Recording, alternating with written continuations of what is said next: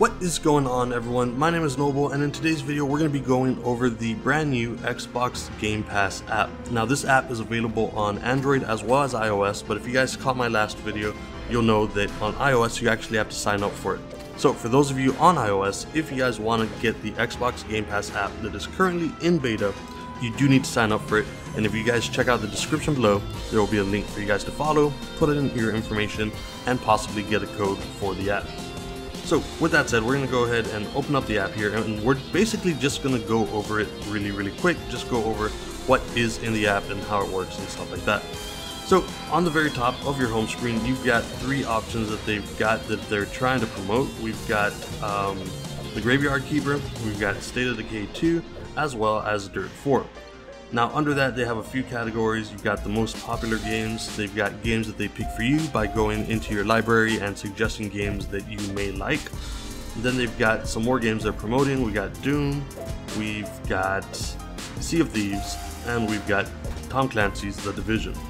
Under that you got some more categories. You've got featured as well as some recently added stuff. And then you can go ahead and search specifically for categories that you want. So we've got classics, action adventure, shooters, platformers, kids, sports and racing, indie games, and fighting games. Now, if you guys know me, uh, I love indie games, so I would definitely be checking those out, trying to get some achievements, trying to support some smaller developers. And this actually brings up a quick topic, real quick. You guys see Human Fall Flat right here? Um, if you guys have not played that game, it's a really fun game. Um, it's an indie game, and you can definitely get some achievements in it. But as of August 28th, uh, they have finally added online multiplayer to it. So if you guys want to play this game with friends, and if you have some Game Pass, go ahead, install this game. It's a lot of fun. Me and Jade are actually going to be playing through it, trying to get all the multiplayer achievements as well.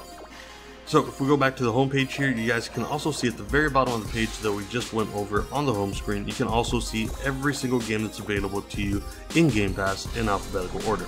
So obviously you guys know how the alphabet works, we're not going to go through too much more there. Now if you want to search for games, if, if, if, you're not exactly sure what games are in it but you're interested in trying the game, you can just go ahead and put in a general search.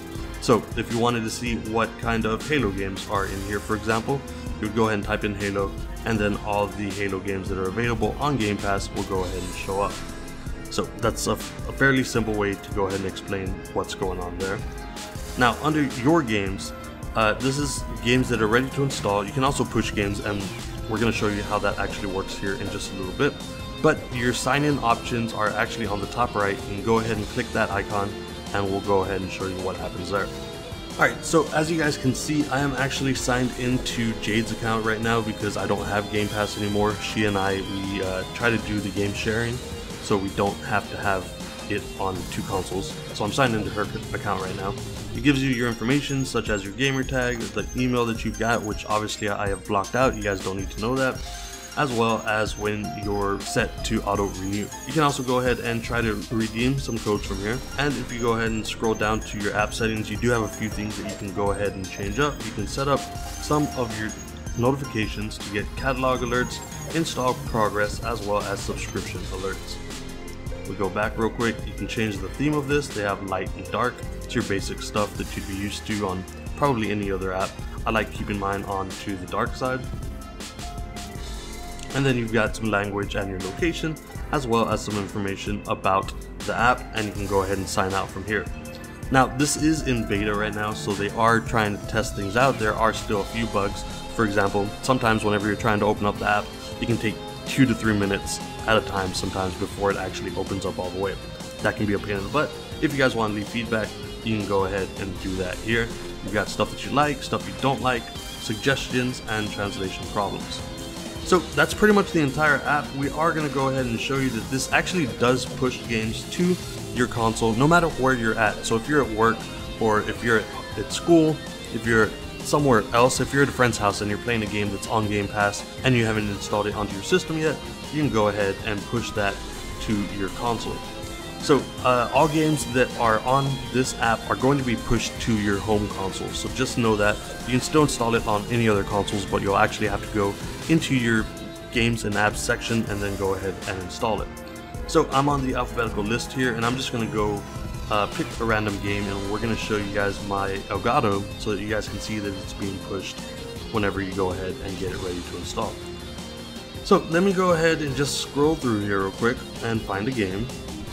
Alright, so after searching for a few games, I see Fable on here. I love the Fable series. I really hope it makes a comeback. But if you go ahead and click on any one of the games here, you're to get information on the game. So as I clicked on Fable there, you guys see here, Fable Anniversary, you've got a small description of the game, uh, the rating, where it's available, as well as some helpful posts. Uh, these are reviews, I guess. You can see who is trying to stream the game. Uh, I guess there's nobody trying to stream it right now. And uh, some screenshots as well as things that are add-ons for the game. So at the very bottom here you see install on your home Xbox. We're going to go ahead and click that and I'm going to bring up my Elgato. So it says that it is getting ready to install the game and we'll see that pop up here in a sec. And there you guys go, it says queued for installation, your game should start downloading soon. Then it gives you some information on how to actually go ahead and set this up, but we're going to show you my Elgato right now to show you what's on my actual Xbox. We just pushed that to the uh, Xbox and you guys can see here in the queue that it is installing. So it does it all on its own no matter where you're at. Like I said, if you find a game you're interested in Game Pass at work or while you're in school, you can go ahead and push it to your home Xbox and it'll be ready for you to play once you get home. So that's pretty much the entire app. It's a very simple thing to use. I just wanted to go ahead and make a quick run through of it, show you guys what it looks like. Once again, if you're on iOS and if you want to sign up for this app, there's a link in the description for you guys to go ahead and sign up. And if you're on Android, all you gotta do is go onto your Google Play Store, search for Game Pass app, and this will go ahead and pop up. Hopefully you guys found this video interesting. If you guys liked it, please let me know in the comments down below. And with all that said, I will see you guys on the next video.